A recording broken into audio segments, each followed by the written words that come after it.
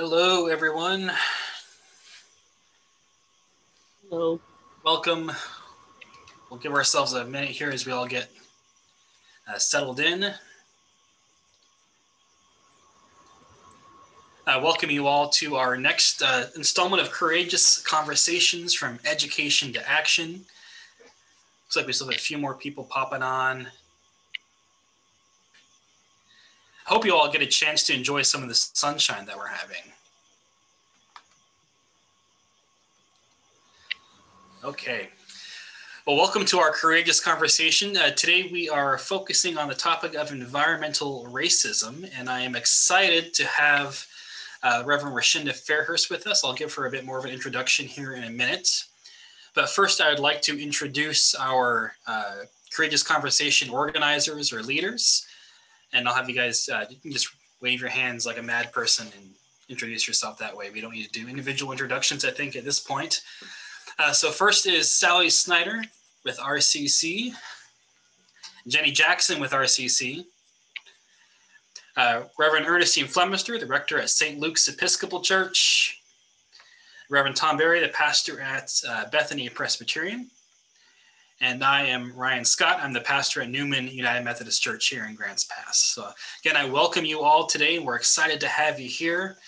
Uh, our mission at Courageous Conversations is to enrich, support, and celebrate our diverse community by acting as a catalyst for inclusion, continuous learning, understanding, and acceptance through active engagement and facilitation of educational opportunities that challenge biases and deepen conversations.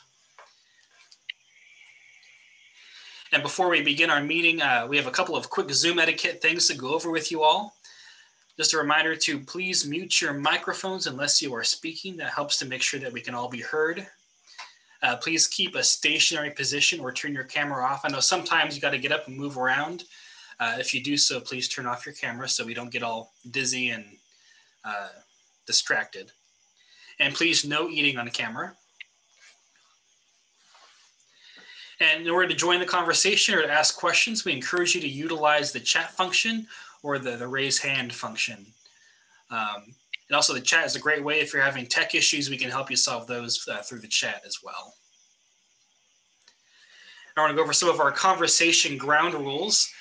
The first one is we are here to create a safe space to learn, share, and grow. That's kind of the, the emphasis of what we're doing. So we're committed to open-mindedness, to listen to all points of view, and be curious. Acceptance. Suspend judgment as best as you can. Respect. Seek to understand rather than to persuade or convert. Discovery. Question old assumptions and look for new insights. Brevity. Go for honesty and depth, but don't go on and on and sincerity. Speak only for yourself about what is personal meaning. And these are adapted from RCC's uh, Conversation Cafe. So, and I welcome you all today, and I'm excited to have you here. This is an exciting subject, and I'm looking forward to hearing uh, from Rashinda and from all of you. Uh, today, we are going to, uh, Rashinda is going to give us a presentation. I'm going to let her introduce herself in just a minute, and then there'll be a period for uh, question and answers at the end. So make sure you get those questions ready. And with that, Rashinda, I'm going to hand it off to you and let you give yourself an introduction and get the ball going. Okay, well, first of all, I want to say thank you. Thank you so much for inviting me. Um, thank you for creating a forum where we can talk about things that may feel a lot bigger than we are. Um, and I'm looking forward to spending this time together. Uh, you might notice things in yourself as we talk about this stuff. You might think, oh, that's terribly wrong, or wow, I never thought about it that way before. And, you know, um, let's just hang in there together because this work is messy. And so let's just agree that we're going to get a little messy together, and that's going to be okay for today as we pull out this thread or that thread and just take a look at certain things from out of a much bigger picture. So um, I'm going to share my screen. And here we go. Um, there we go. Uh, let me get into the presenter view as well. Perfect. Okay, so one of the ways I want to start is my name is Rushenda Fairhurst. I am ordained in the United Methodist tradition and I currently uh, sort of uh, I'm organizing director for a small nonprofit called Circle Faith Future. You probably also noticed that here we are having a conversation about environmental racism and I am a white lady. I am really white. I like all the things white people like. I am in my 50s. I have lived in pre predominantly white neighborhoods and white areas and that's my social location. That's the place from which I learn and notice about how race impacts myself, my family, my community, my country, and my world. And so I will not presume to speak for anybody else. I am going to try to share voices and share history um, so that maybe together we can better understand. But my location is my own. And I want to just say that out loud and also honor that there are so many different locations just here on the call, let alone more widely. So it's okay to have different points of view. It's okay to have different experiences. Let's try to just move forward in conversation together. So, and Rashenda, um, went, I'm going to interrupt yes. you just for a second. You're not quite in presentation mode. Oh, okay. Um, how's that?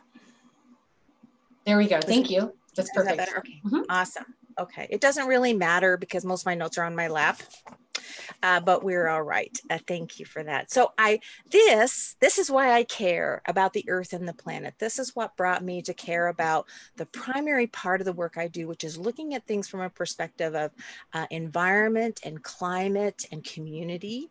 This is a picture of the Britannia Conservation Area as a child behind my home when I was a little girl. I lived in Canada, and um, there was this woodland behind our house with birds and turtles and um, frogs. and I, I used to reach my hand into this muddy water here. This is called Mud Pond. And I used to pull out uh, little creatures or try to. I used to watch the tadpoles swim around and it was absolutely enchanting. And it filled me with an absolute love, an absolute love of nature. This is a garter snake. I love how grumpy they are there was a place in uh, in behind my home where there was mostly rocks. So there was a lot of forest and there was the Ottawa River, but there was also this place with rocks. And if you turned a rock over, you could guarantee yourself a whole handful of garter snakes. And that was just a thrill for me. I loved, I loved the opportunity to run and play as a child and interact with nature. And this is a view, see how messy this is? This is like bracken and brush, and that's the Ottawa River.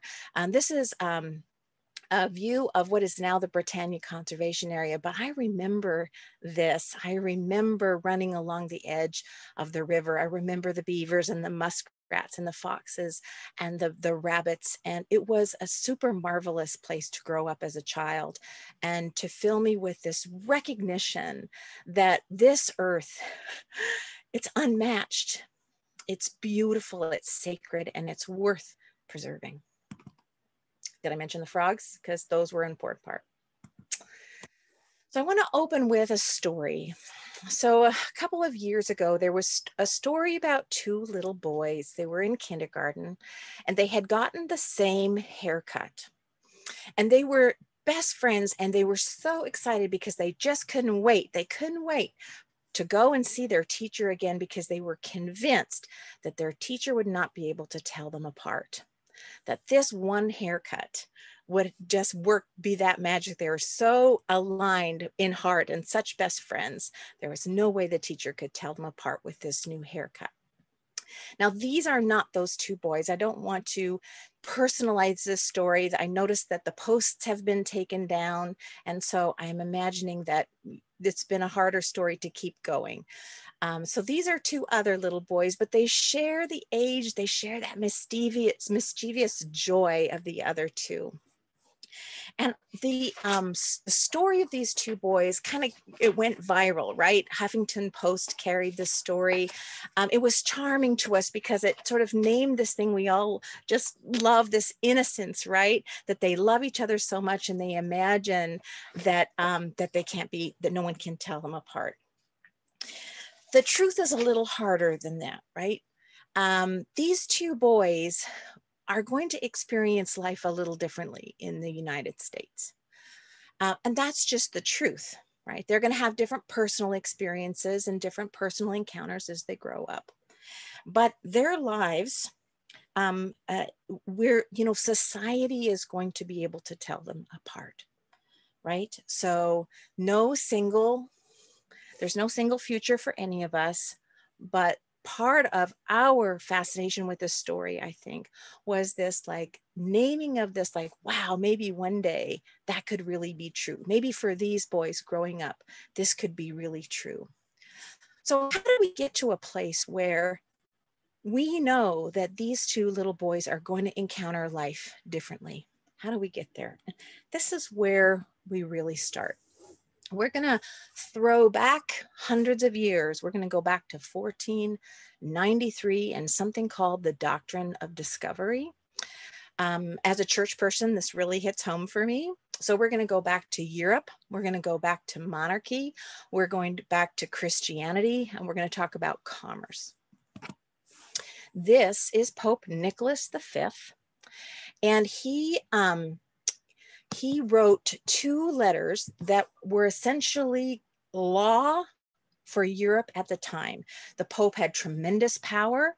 Uh, these countries were all Catholic in Europe, Christian Catholic countries. Um, and the Pope set the laws for who could do what. And the Pope wrote two letters, one called the Dum Diversa and one called the Romanus Pontifex, that granted, literally granted legal authority to King Alfonso of Portugal and his heirs to, and this is a quote, to invade, search out, capture, vanquish, and subdue all Saracens and pagans whatsoever, to take everything they had their kingdoms, dukedoms, principalities, dominions, possessions, all movable and immovable goods, to reduce their persons to perpetual slavery, and to get all that stuff for themselves, to apply and appropriate to himself, the king, and his successors, all the stuff those people had had in order to convert that stuff and those people to the king's use and profit right? Take a breath. That is horrifying. And that was church law and has stayed with us for hundreds of years. So, worse than that is what follows next is that here he says that this proclamation, this law, was going to be, uh, was issued uh, as a work that demonstrated the glory of God right? It is essentially the right of conquest. And the those who would uh, challenge that right would incur the wrath of Almighty God. That was pretty terrifying, and that happened in 1455 and 1452. This was followed by another pope. This is Alexander VI. This was 1493. So Columbus reached the uh, the Americas in 1492. In 1493, we get this new law added to the other. This law grants and divides legal dominion and spoils for the undiscovered non Christian world between two royal families, those ruling Portugal and Spain. So if you were a Christian European ruler already, you're fine. They're not going to take your stuff. But everybody else, literally from the Arctic pole to the Antarctic pole, the earth was split in two and dominion over those two areas was divided between the ruling families in Portugal and the ruling families in Spain, King Ferdinand and Queen Isabella. And again and again, we see that this is issued with the um, assertion that this is what God would have us do. uh, claiming that this uh, law would come at the happiness to the happiness and glory of all Christendom. And the word Christendom is one of those religious words, and it means that the whole globe should be Christian. Um, so this is this is how I I don't know how you're feeling right now. Check in with yourself. Um, this is hard to hear. This is hard to hear. This was the law of Europe and the world. So um, this is a statue of Christopher Columbus. This statue is in Barcelona, Spain. And uh, you can see, like, look at how that statue is put together, right? It's like there's a man, he's got his foot out, he's striding. He looks so confident. He knows exactly where he's going. He's got his finger pointed to the horizon, right? This heroic looking statue. Uh, and this is this is our what our cultural imagination has done with the that those two documents of discovery that the uh, the european christian adventurer discoverer can go out into these lands and claim them for civilization and for uh, Christianity. Um, and this coin at the very center of our page, uh, that slide, that is a coin featuring King um, Ferdinand and Queen Isabella.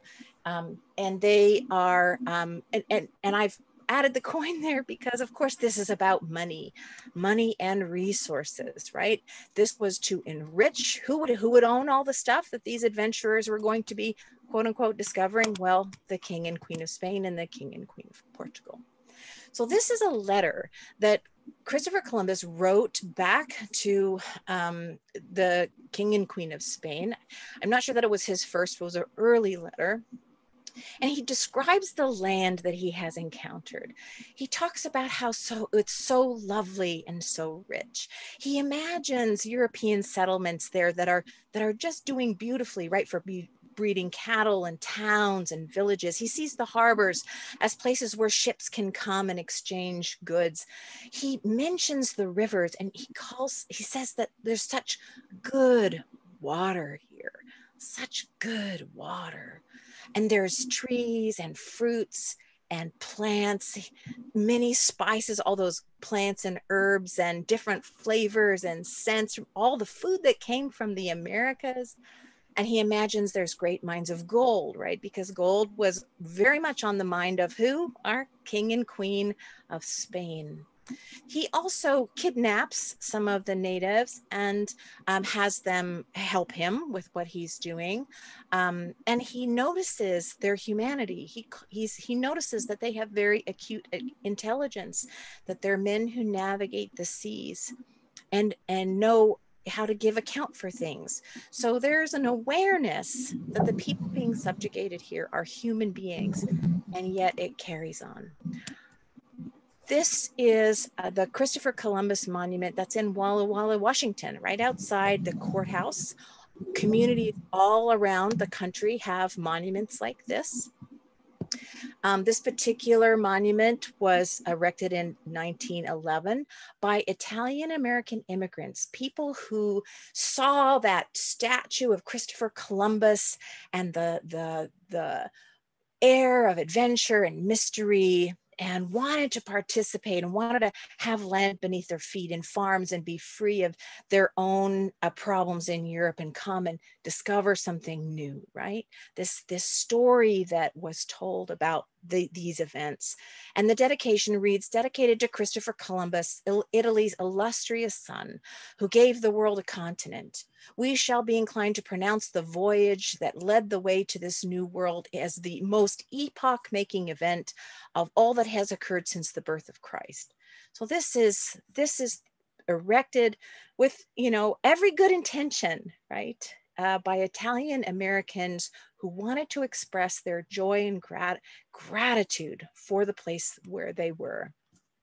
I want to um, draw your attention to that circle globe that Christopher Columbus statue is resting his hand on. And back to this idea of Christendom in the religious world. Uh, was that the whole globe would become Christianized. And so the fact that this is included in so many pictures of Christopher Columbus really speaks to that sort of idea that, that great progress would Christianize and civilize the world and it would be a wonderful thing. So, oops, I, um, there we go. I'm going to go back to that other slide. So in uh, on June 30th last year, uh, this statue, like many others, were was um, had was spray painted with stolen land and genocide painted on it.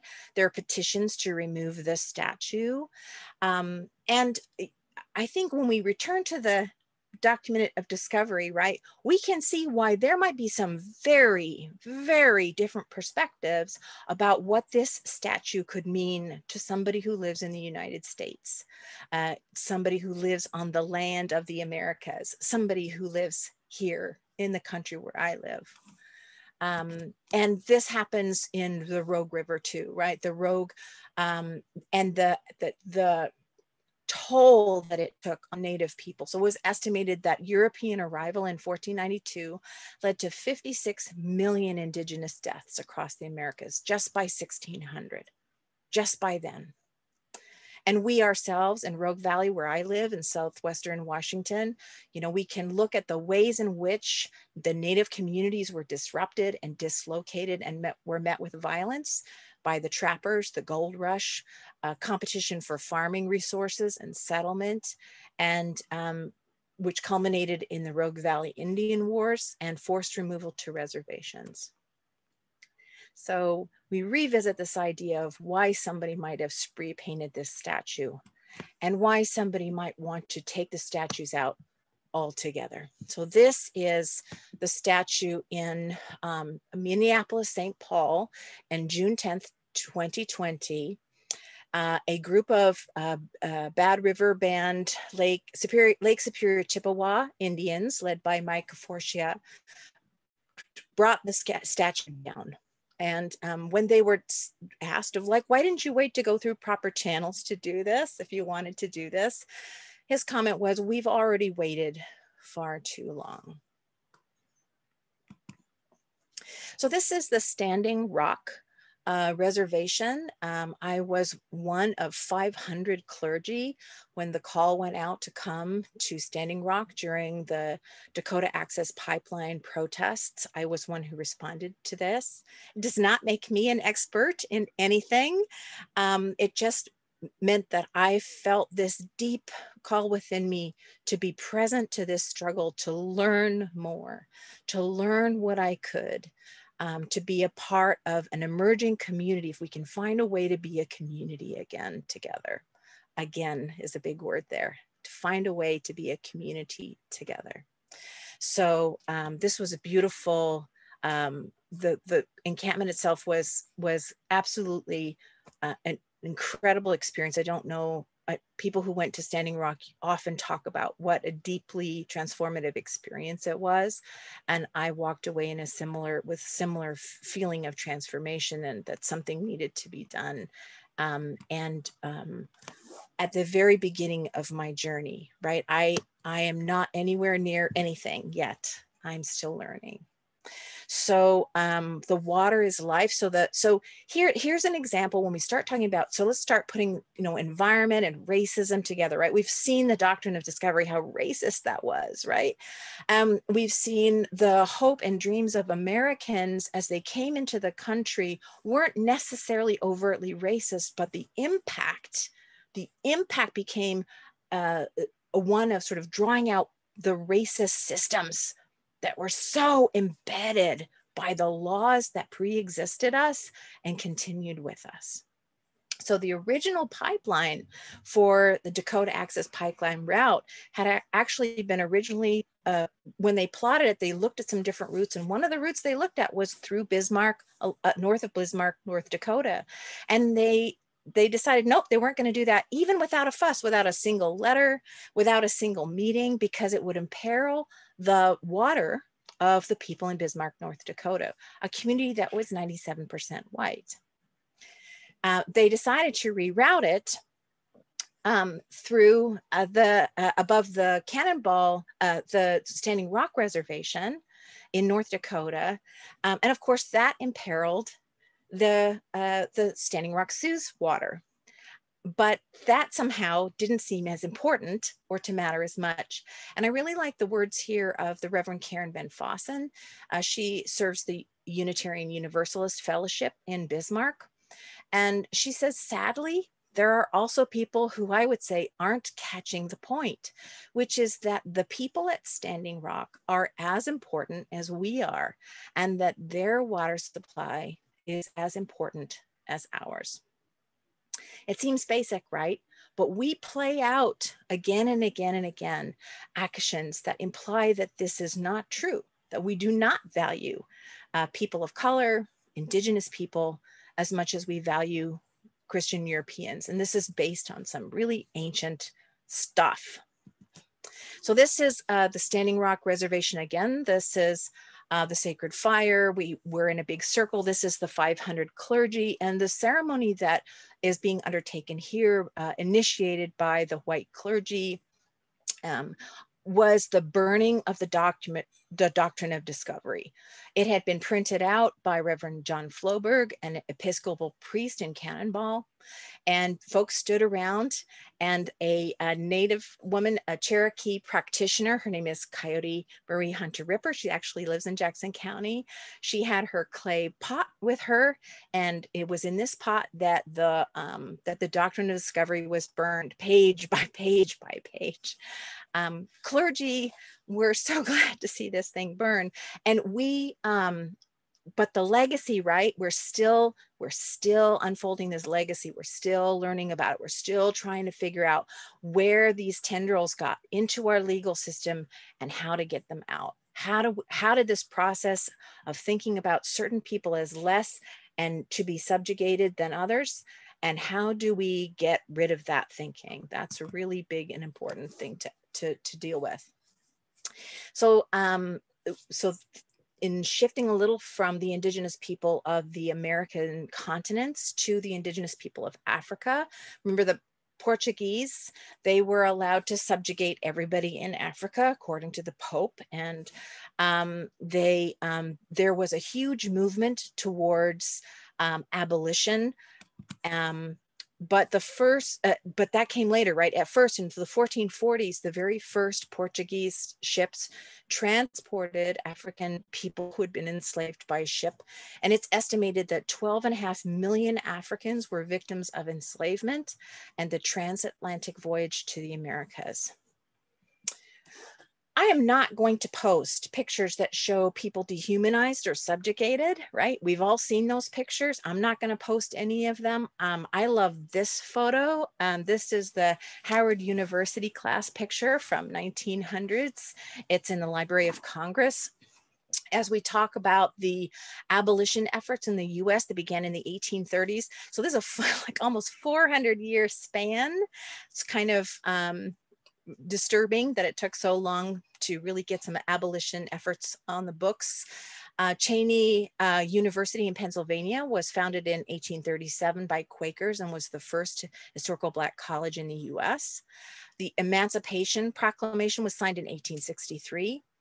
Jim Crow laws were enacted in 1890, which is again an attempt to push uh, people of color and, and, especially Black people down and ensure that the quote unquote order of the doctrine of discovery was preserved, where there was Christian white people who had the power and the right to use things and the right to own land. And then there was uh, people of color who did not. Um, in the 88th Congress in the United States uh, passed the Civil uh, Rights Act in 1964. Uh, but here, even here in the Pacific Northwest, there were sundown towns and they persisted into the 1970s. I lived in a sundown town for many years. I had no idea what those were. I did know that my town was majority white. Sundown towns were towns where uh, if you were a Black person or a person of color, you could come into the town during the day. You could work as a maid, or you could work in the factory, or you could work as a laborer, but then you had to make sure that you were out of the town before the sun set. So incredibly racist, pervasive behaviors persisted. Um, So pollution inequality. So let's talk about that. Pollution inequality, where are we time? Oh, good. Okay, so pollution inequality is one way that we can take a look at measuring, right? Measuring what are the outcomes? What are the things that we can measure? Um, environmental racism not only means that you can come in and subjugate somebody and take somebody's stuff by the doctrine of discovery, which made it into our legal system. It also means that they're not as important. You can imperil their people's water who are who are um, uh, black or indigenous, um, non-white, non-Christian people, right? Um, although um, Christianity is actually a really powerful force for many Black and Indigenous communities, um, for those communities that have chosen that and have lived into that and um, we have to be, I want to be really careful around language around that because sometimes it is used right to subjugate. Um, other times it is found as an expression of tremendous empowerment. And we want to honor that different people, there's no monoliths here, have very different experiences with religion. Um, and so for me, it's been empowering, um, but that's not always true for everybody. So um, the what happens is the land that certain people occupy becomes ripe for being dumping grounds uh, and, um, and industrial centers. Um, and that shows up in measurable statistics like pollution inequality. So uh, fine particulate matter uh, is air pollution in the United States is the largest environmental health risk. And um, it disproportionately affects uh, white, uh, I mean, non-Hispanic, uh, Black and Hispanic communities. And it the measurement here is about how much it affects them versus how much they consume. So it can, it, it's not just their, uh, you know, they're not just dealing with the messes that they make, they're dealing with the messes that everybody makes. Um, so on average, whites experience 17% less air pollution exposure than is caused by what they consume. So I'm freed of some of my pollution burden as a white person in a white community, but Black and Hispanic communities experience that pollution because that pollution still exists, right? And they experience 56% to 63% more exposure than is caused by their own consumption. Um, if you live in Texas, so this was a study done by Robert Bullard uh, in the book Dumping in Dixie. Uh, it was a study published in 1979. So in that time in Houston, Texas, 100%, so five out of five Houston owned landfills and 75% of city owned incinerators were in black neighborhoods.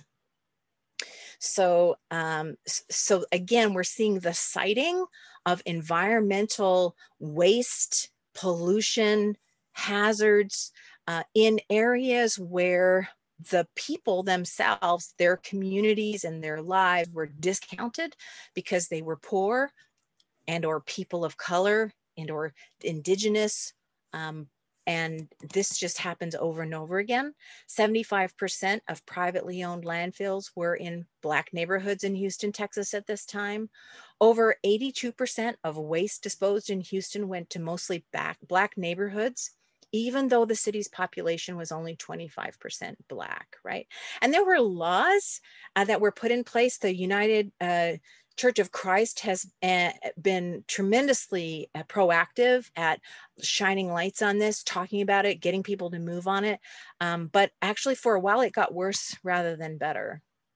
And I want to return to this uh, this coin, right? Why why did all this happen? Why are we extracting and taking things, right? Things that don't belong to us. Um, and uh, we go back to this coin, and we I want to talk about Earth overshoot day. So Earth overshoot day is the day in which we have used up our allocation of resources for the year uh, that doesn't then continue to deplete the planet, right? Cause depletion.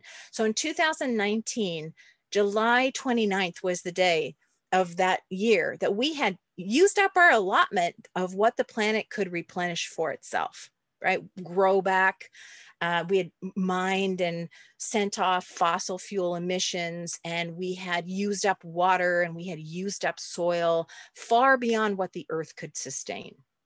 in 2020 that pandemic last year this year continuing um, we that we got an extra month that's it a whole extra month earth overshot its consumption on august 22nd 2020 and this year in the united states if we just take the united states and what its overshoot day is we overshot our year's allotment of resources that could be restored or replenished on March 14th. So, the reality of what the doctrine of discovery gave license to in the pursuit of wealth for just a handful of royal families is the idea that we can conquer and use and buy and sell. We can use up people, we can use up land, we can use up resources, even when we can't pay it back. So, uh, we not only sell our land into debt, but we sell our children who experience generational trauma and the legacy of this planetary depletion. Yeah, some hard words, right? I don't know if you're still with me. Hang in there. I know this is hard stuff. Environmental justice. Woo!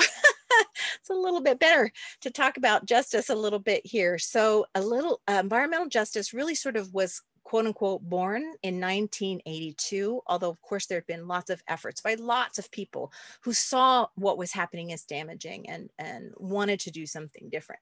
But in 1982, 500 people were arrested during protests. Black farmers tried and failed to stop the dumping of 40,000 yards of PCB contaminated soil on 22 acres of farmland in Warren County, North Carolina. Remember those statistics from Houston about where the dumps were.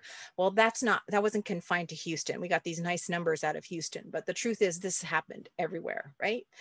Um, and here's, here's, that was 82, right? Remember how I said it's not really getting better. We're still struggling with this. so Black people today are nearly four times likely to die from exposure to, to pollution than white people. Um, African Americans are exposed to 38% more polluted air than white Americans and African Americans are 75% more likely to live in communities that border a plant or a factory. So these are just numbers. These numbers that we can look at and ask ourselves, what, why, what is going on, right? So health risks and outcomes are actually heartbreaking, right? So asthma, for example, so that air eh, those air particulates in the air and when you live near a dump and when you live near an industrial area and you live near a fossil fuel plant those particulates are so much higher in your area right? And that has impacts on health. It has impacts on cognitive function as well uh, non-hispanic african americans were 40% more likely to have asthma than non-hispanic whites in 2018 in 2019, non Hispanic Blacks were almost three times more likely to die from asthma related causes than non Hispanic whites. In 2019, non Hispanic Black children had a death rate eight times that of non Hispanic white children. And non Hispanic Black children were five times more likely to be admitted to the hospital for asthma compared to non-Hispanic white children in 2017. So looking at these numbers is really helpful, right? Because sometimes we have been engaged in a, what might be considered gaslighting, right? Where people say, gee, it just sure seems worse in Black neighborhoods. And other people say, oh, no, it's fine well it's not fine. It's it's not fine and it hasn't been fine. And the more we can look at it be willing to look at it be willing to ask ourselves why. Why did this happen? How did we get here? What what could we do differently? What should we do differently? I think that's really the moment right? We're here. We're here for that question today so today, speaking of today, what's going on? So the Byhalia Connector Pipeline in Tennessee uh, is a, uh, again, we're back to pipelines, uh, lots of those in this country. So proposed 49 mile crude oil pipeline would connect the existing Valero refinery through South Memphis and Tennessee neighborhoods to the Byhalia pipeline in Mississippi. So South Memphis is a predominantly Black neighborhood, uh, such as Boxtown is one of the neighborhoods uh, within that. And these are Black homeowners. This is, you know, surprisingly less to do with poverty and more to do with race when you start looking at the correlations, right? So the this pipeline would go through backyards and it would come within just a few hundred feet of the Doubletree Elementary School. Uh, the proposed routes go around the white neighborhoods. Uh, they charted it to follow a path through the black neighborhoods. And when they were sort of called out on that, the Plains All American, which is the pipeline company, said right out loud in front of everybody um, that that path was chosen because it was the path of least resistance.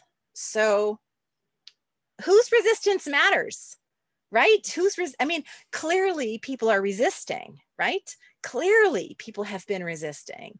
Um, so, whose resistance has been prioritized and why? Why is that?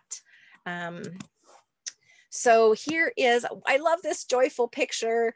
Um, this is Earth Day March in East Oakland, California. And of course, they had the Hunters Point power plant in San Francisco area that just polluted everywhere. And that was a huge fight uh, to get that closed. Um, and sometimes people will claim that Black people don't care about uh, environmental justice. This is just another sort of ah, I don't know how my community, my people, my white people come up with these ideas because this is just not true. Not by everything I've heard, not by the studies. Obviously, I'm not Black. I can't tell you that as a Black person, but it's just, you know, this is there's so much joy, there's so much energy, there's so much desire from all people to be able to live good lives with good jobs and clean communities where you don't have to worry about industrial pollution.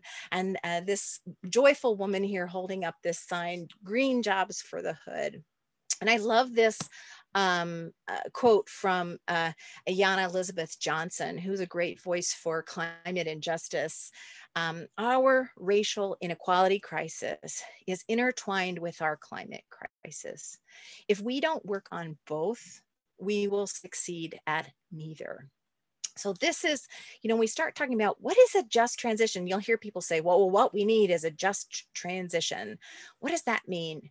It means that we don't want to stop burning fossil fuels and address the climate crisis by creating more pollution for Black people and Brown people and Indigenous people, by endangering more water in poorer neighborhoods, right? By declaring that some people are just less resistant, which isn't true, isn't at all true. It's about power and power relationships. Let's make sure that we understand that this is a conversation about power relationships, not about resistance, right?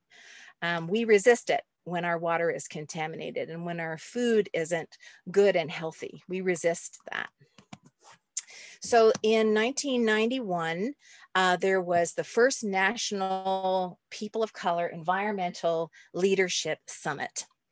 And uh, there were 17 principles that were brought were that were decided on at that summit which i think are fantastic and um, the the I'll, I'll be posting some of these links in the chat later um, so um, the first one, right, that environmental justice affirms the sacredness of Mother Earth, ecological unity and the interdependence of all species and the right to be free from ecological destruction. So this has, let's rewind 400 years. Let's go right back to Nicholas V and that horrifying document, the Doctrine of Discovery.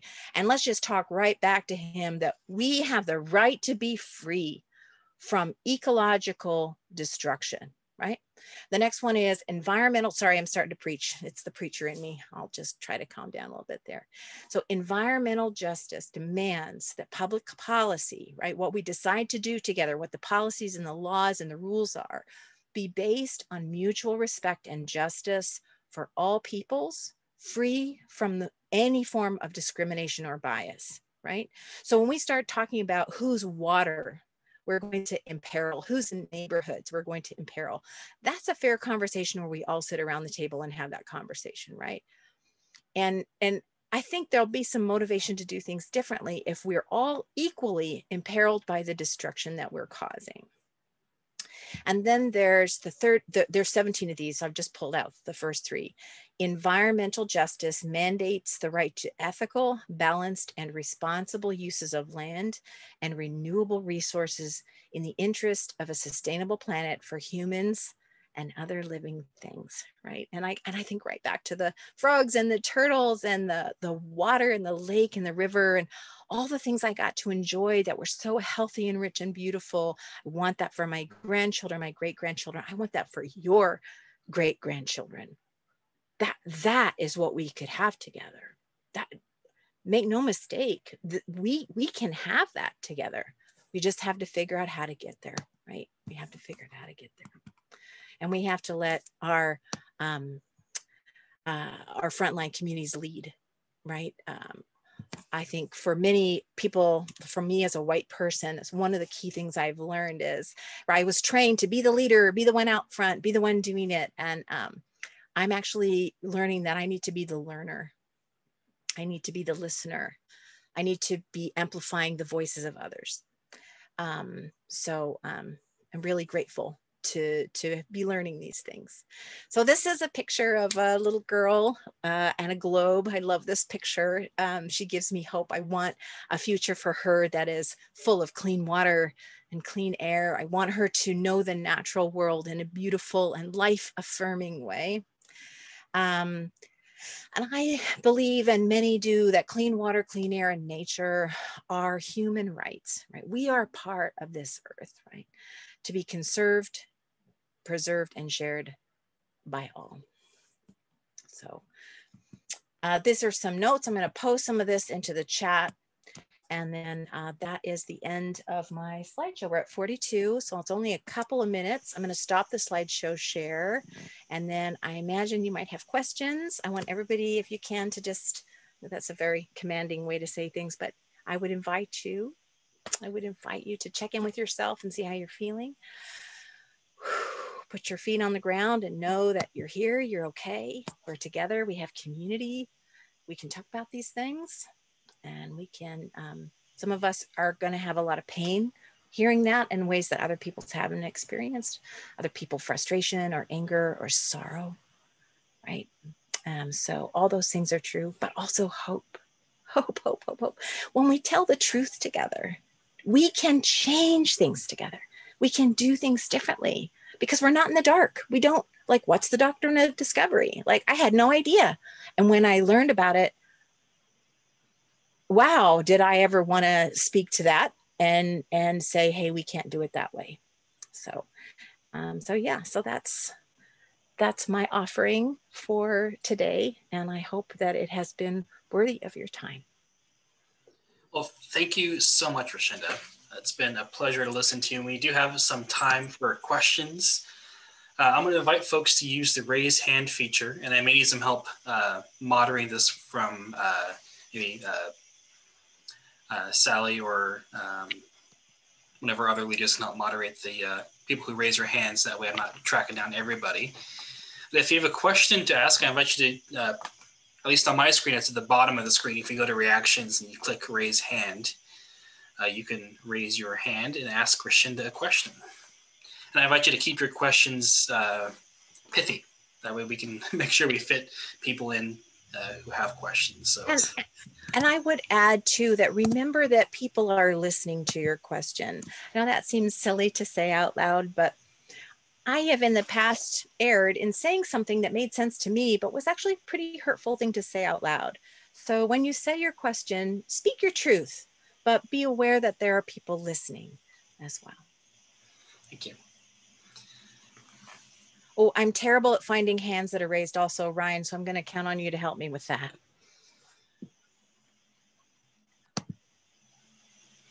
Let's see. And I am putting things into the chat uh, as well.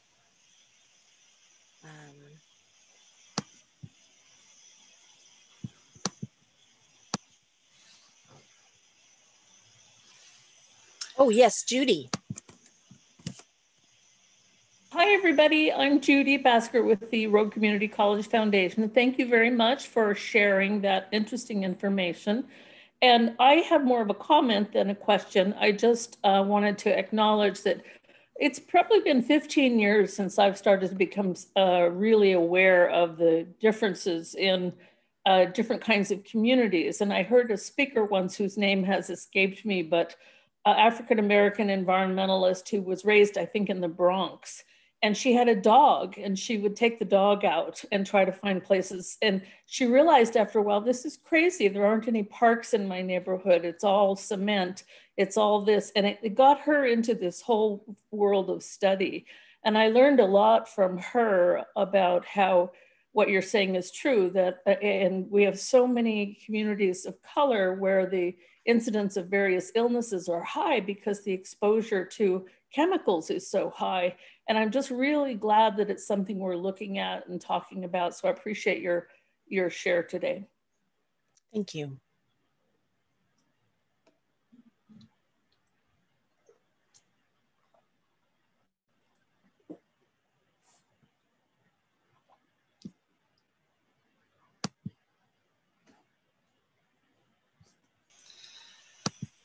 Anyone else have a question or uh, comment? Judy, you, since you're the only one raising your hand, I'll let you go again. I'll yeah, okay, I'll keep going. What what? Just curious from the group here, what can we do to make to improve this? I mean, we've got the awareness now. We're thinking about it, but and you know, we happen to live in a mostly uh, environmentally uh, conscious or you know in a lovely area that doesn't have a tremendous amount of pollution is what i'm trying to say. Does anybody have any ideas what we can do to help help with this?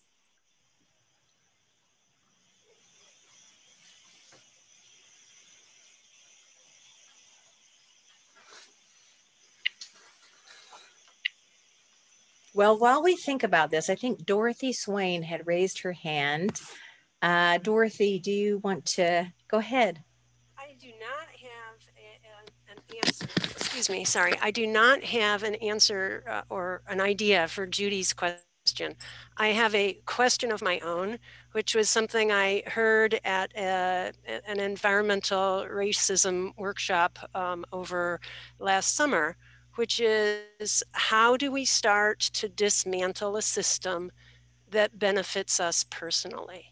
Mm. And I and to me that question just had such resonance for me because as a uh, white person who has benefited from my whiteness and who is a homeowner and um, who is planning to retire early, um, I there are there are things that I have that I I value, and it is it is hard.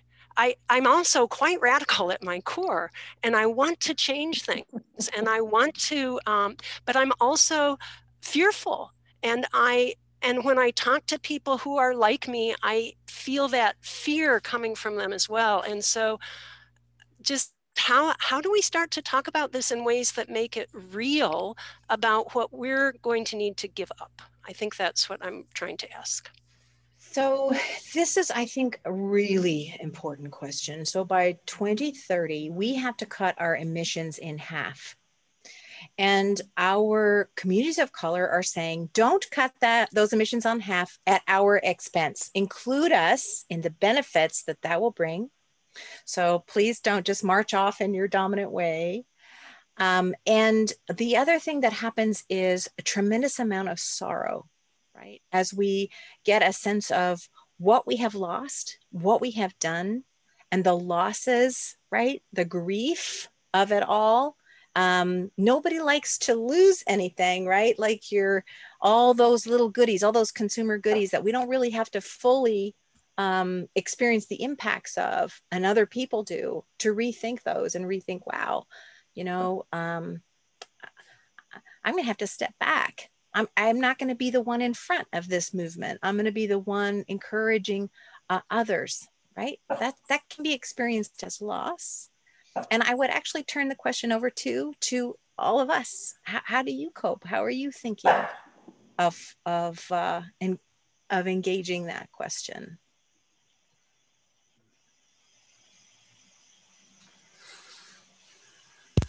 Oh, I see Nicole Slinger.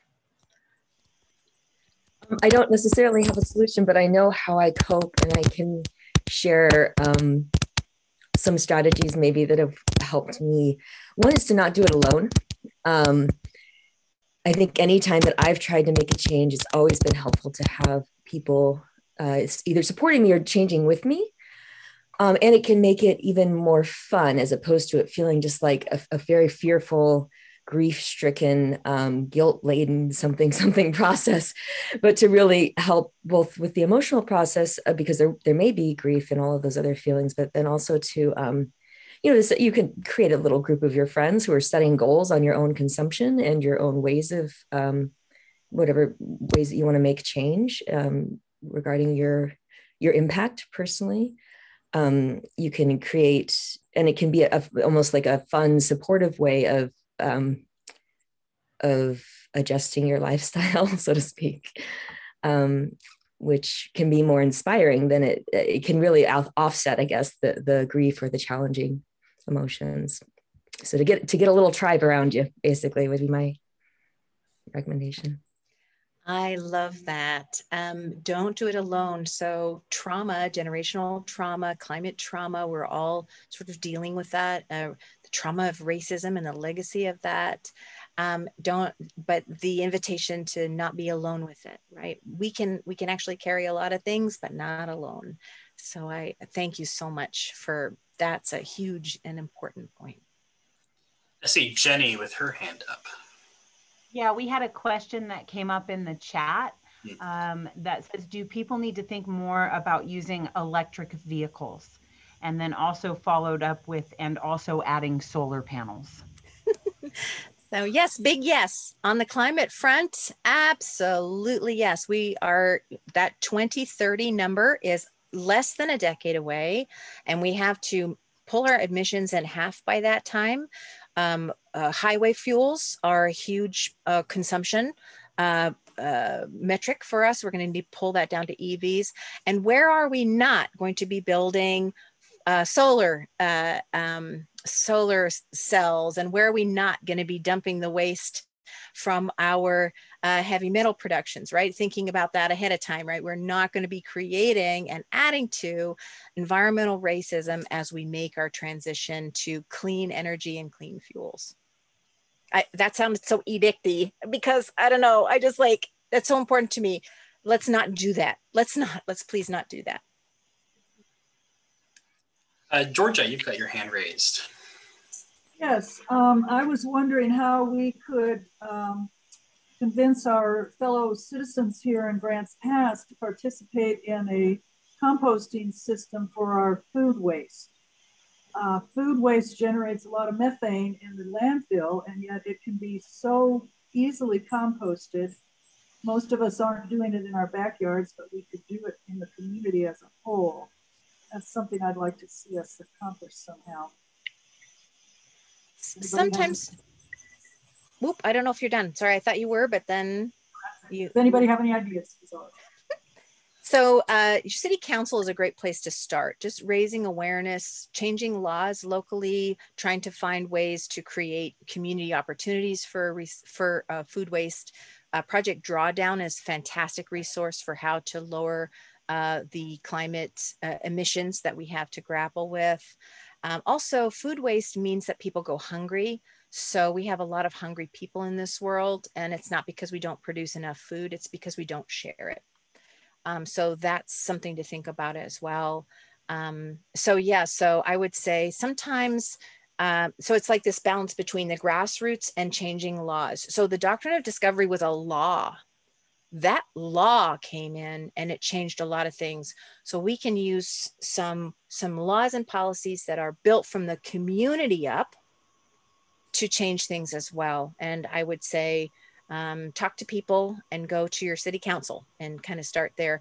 But what about other ideas? Has anybody got other ideas or have done this and want to share about it? I see travis raise his hand or is there someone else? First ryan I've seen big impacts with like uh, urban renewal um, being targeted in places like a lot of times urban renewal is focused on the uh, most affluent areas um, as opposed to you know um, really focusing on creating like environmental spaces that connect communities and you know and, and, and focusing on areas that are underserved um, and like even the greenway gets a lot of talk um, but that you know there's there's area like there's even the areas in say the greenway that get a lot of attention are tend to be the most affluent areas um, things like that Um, uh, Ernestine has her hand raised, but I want to mention before you speak, Ernestine, that we are coming up on our hour. So I think Ernestine is going to be our last uh, sharer today, and then we will announce our next uh, courageous conversation. But Ernestine, uh, go ahead. Two things. One is uh, Georgia is starting a petition to take to city council. So when you go to talk to them, you know, there's always the pushback. Oh, you start, you do something. And so when you can say you do something, you can already have your petition to to show. Uh, second thing is Rashida, I I I don't know this if, if it's this happened or not. Has the has the Vatican ever rescinded the doctrine of discovery? That's a good question. I don't think so. Not um I know that there have been many religious groups and nuns, especially, who have demanded that they be fully retracted. Um, that was as, as late as like 2018 um, with this new pope. I should I should check that. Um, I don't know. I don't think so though. Sadly, um, there may be in part, but but I don't want to misspeak either. So I, I'm not mm. sure. But that's I should find that out. That's. Uh, and when you do, share it with us, please. Yes, absolutely. Great. Thank you. Thank you. Well, thank you all so much for sharing. Uh, Sally, I'm assuming we have a slide for our, our next uh, conversation coming up in uh, May. You know, I did not create a slide, but I. Okay. Up, you muted yourself. I was unmuted. Oh my goodness. Okay, so I did not create a slide uh, this time, but I'm posting in the chat that next month we have a guest speaker, Ron Jones. Uh, he will be talking, he's from Dialogues on Diversity, and the subject matter is civil discourse, putting the civil back into civil discourse. And that will be Tuesday, the 25th at noon, uh, 25th of May. Thank you. And thank you everyone for being here today. And a special thank you to Rashinda for sharing with us today. Uh, we've really valued this time with you and I hope to have you back in the future maybe. And uh, hope to see you all next month as we continue our uh, courageous conversations with one another in our communities. thank you all for being here and hope you all have a lovely week and afternoon.